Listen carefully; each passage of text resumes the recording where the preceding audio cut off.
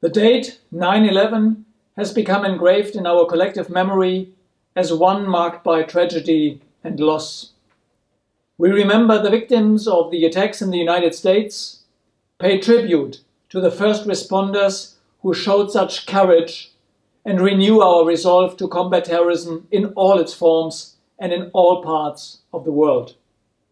It is a moment to reflect, but also reassess today's global terrorism threats.